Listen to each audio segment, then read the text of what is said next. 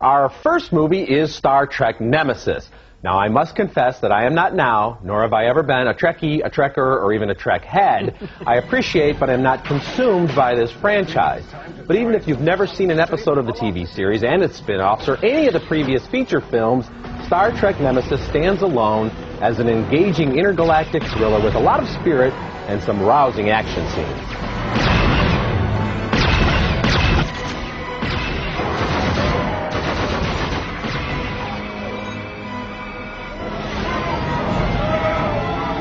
Once again, Patrick Stewart brings real grace and presence to his role as Captain Jean-Luc Picard, the father figure leader of the USS Enterprise. And Brent Spiner is excellent as the nearly human android known as Data.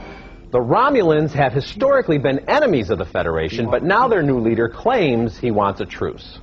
Perhaps it's time to add some illumination to our discussion. Computer, raise the lighting four levels.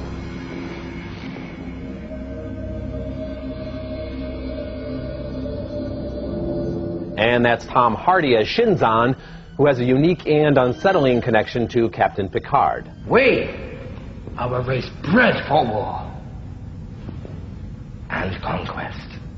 Are you ready to plunge the entire quadrant into war to satisfy your own personal demons? It amazes me how little you know yourself. I'm incapable of such an act. You are me! Directed by Stuart Baird, Star Trek Nemesis has some pretty nifty special effects and some cheesy but fun retro touches, like the tracking shots of the Enterprise in space, the scenes of the crew bouncing around when the ship is attacked, and the obligatory shooting sparks and loose wires on the ship after a tough battle. I also enjoyed the romance between Commanders Riker and Troi, and the whimsical touches Spiner brings to his dual android role as Data and a Data wannabe. I also liked Hardy as the evil villain.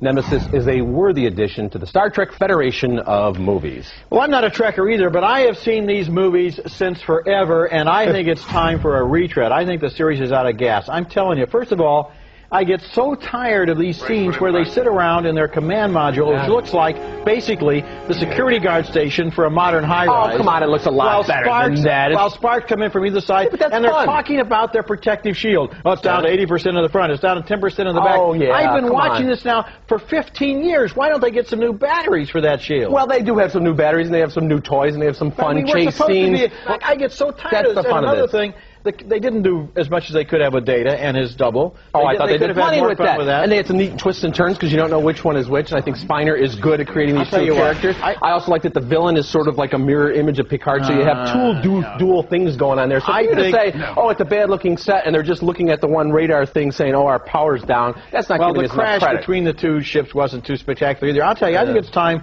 for them to jump another thousand years in the future, get an entirely new crew, redesign the ship, and get some aliens who don't look like people with too much makeup on. Oh, well, you know what? You create the next, next, next, next, next, next, next generation of Star Trek. I think this one is worth watching. With great happiness, I will do that.